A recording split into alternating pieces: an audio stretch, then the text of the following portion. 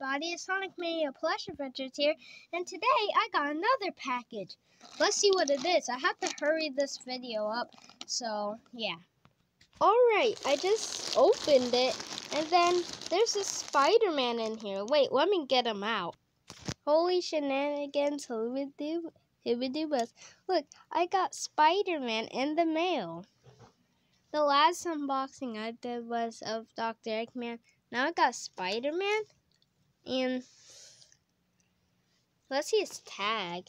Oh, it's just a cardboard piece of his face. Let's read this tag.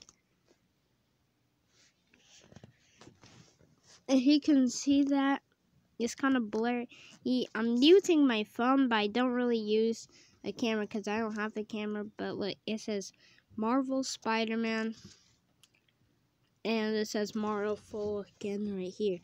And at the very bottom, it says Marvel again. Let's see the back.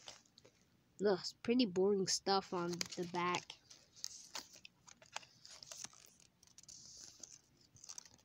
Hmm. Interesting.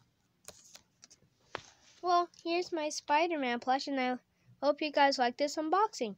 Oh, and if you want him to be in videos, comment down below.